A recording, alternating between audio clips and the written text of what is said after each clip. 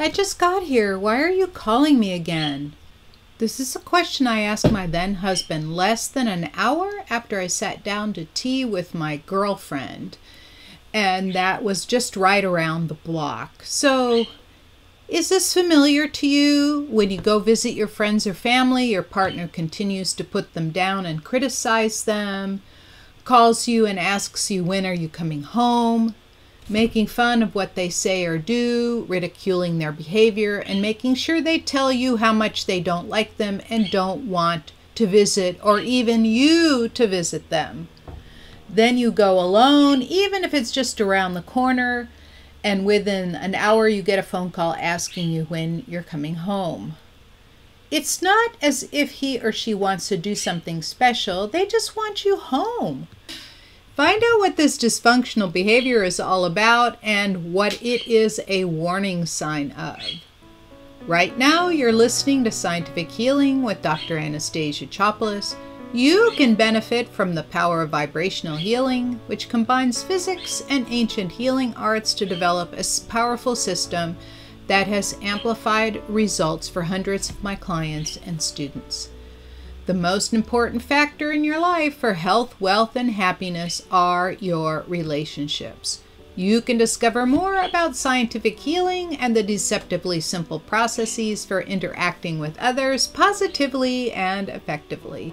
Go to scientifichealer.com forward slash relationship to learn how to be energetically attractive to others and magnetically attract people to you. The right ones, not the wrong ones.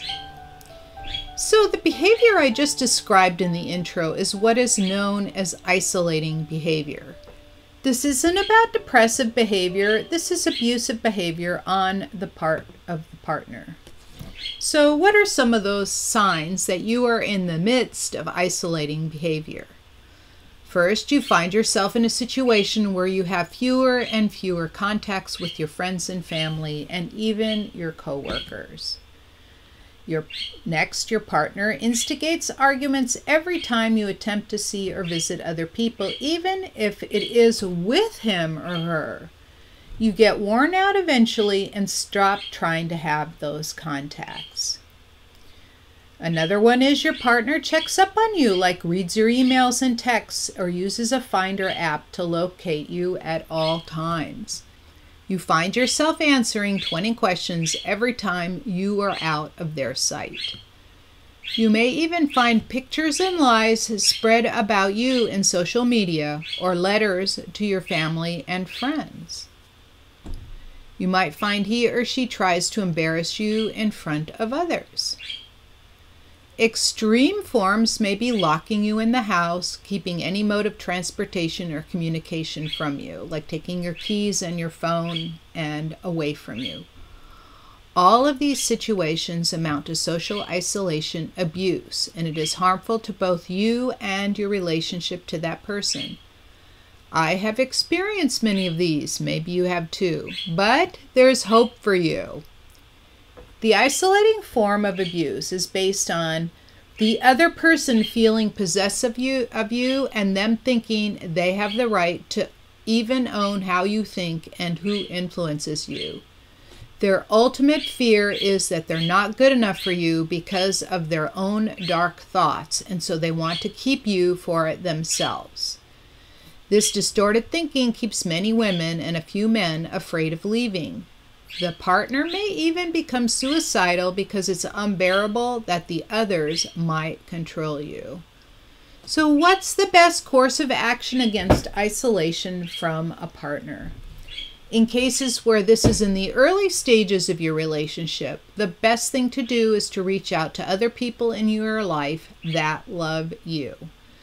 Insist on it. If you get an undue amount of resistance, you might need to rethink that relationship. Isolating behavior is abuse, make no mistake about it. It's not what that he or she loves you so much they want you for themselves. It's because they are afraid of you leaving. I heard from an ex, I knew one day that you would leave me as he was so impossible that it made it the only reasonable choice for my sanity and my health. Once you've gotten very isolated, it's time to find some professional help. You may have to do it in secret, and there are plenty of organizations that can help you with this. So, the real question is what can you do energetically for isolating abuse? Aside from a relationship healing and the daily cord cutting, I have used a manifestation technique that uses one of the infinite possibilities available to you. And before I go any further, the person that you are having this trouble with also needs healing, and you have in some way enabled it. Like if you didn't stop it in the beginning, maybe because you were flattered by it or you wanted to be isolated yourself, you know, that could have helped it escalate. And so when you get a healing, you will help transform them too. Because I've worked with many one, you know, I don't ever heal the partner, right? I only heal the person and I only suggest that the person get help. It's just like me when I was going to self help groups, I got help for myself, and the relationship started to change balance, right? And that's why I ended up eventually leaving when I thought that was impossible and I was afraid to go. So and, you know, some of the manifesting that I'm talking about here, I used it very often. I wrote journals and journals and journals. I had, you know, like a whole shelf full of journals. I've since thrown them out because I didn't want the negative energy in my house. There was a lot of sadness in there. So let's talk about this manifesting technique. I have about four or five different videos or blog posts on and even podcasts on this topic. So let me describe two situations in which this worked really well.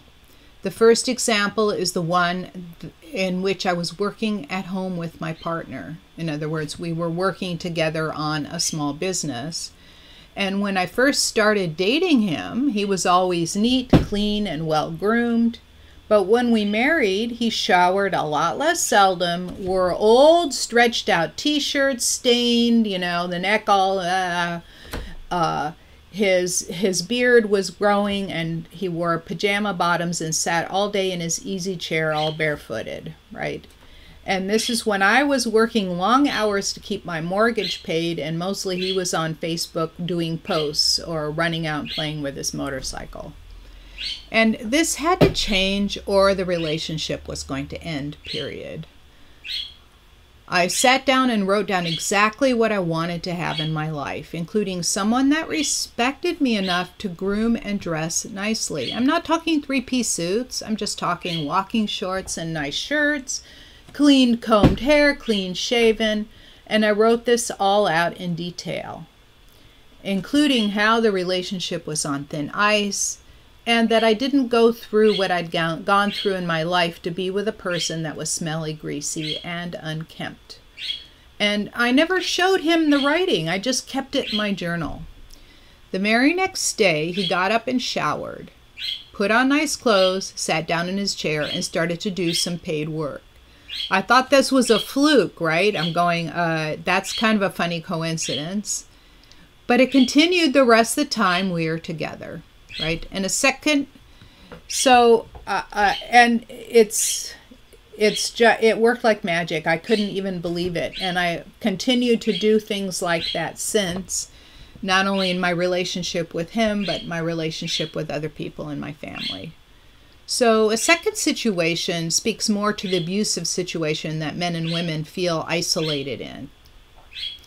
I watched a young mother, Amber, have her former boyfriend and biological father of her son, remember it's former boyfriend, Bill, struggle to get this former boyfriend to leave her home. He was supposed to have been there temporarily to help care for their son while she worked a temporary job. Amber first wanted her son to have his father around, even though they didn't have a relationship together. The rest of us could see this was not a healthy situation for her or her son. Anyway, her job came to an end and Bill refused to leave. Why should he? He had free food, free rent, and he wanted to continue being there, even though he lot of, spent a lot of time being abusive, isolating her, and mostly sat around and played video games. So even though Bill and Amber were no longer in an intimate relationship, he was still all up in her business. At first, she wasn't sure about this manifesting method and how it would work, so she sat down and wrote down exactly what she wanted. Amber clearly pictured him moving out of her place by the following weekend. I mean, we're talking from Tuesday to Saturday, right? Moving out of her place by the following weekend, she imagined him finding a place he could afford, but across town, and she saw him taking his essential things with him. She wrote this all out in her journal. She never showed it to him. The next morning, this is Wednesday, the next morning, Bill comes to her and tells her, I've made arrangements to move out, so you'll have to figure out who's going to care for your son. Your, it's his too. Your son once you find work again. Amber doubted he would leave because he seldom stuck to what he was saying. But sure enough, Bill got his things ready by Sunday and drove off Sunday afternoon with his clothes and computer. She was bl- totally blown away, not to mention relieved. Just so you know, there's a great deal of energy in your ideas, and you can create a new future for yourself using the concept of quantum manifestation as described in these blog posts. One is called How to Manifest with a Quantum Field, another is Two Properties of the Quantum Field to Manifest Your Future create a new future with a quantum field and instead of use instead of resolutions use the quantum field. And i have all the links down at the end of the show notes. I offered her the relationship program at scientifichealer.com forward slash relationship and this helped but she required even a deeper relationship cleanse that's offered in an upgraded class since then, she seldom hears from Bill and she's, he's stopped coming around to bother her. You too can start the energy healing processes I just mentioned in that five free five step relationship program at scientifichealer.com forward slash relationship. And like I mentioned, it covers four of the 14 energetic connections you have with others and the outside world. So stay tuned for more about relationships and what to do about them. If this broadcast was helpful, please give a five star or thumbs up rating, share it with your friends, and please subscribe to my channel. And until next time, this is Dr. Anastasia Chopelas.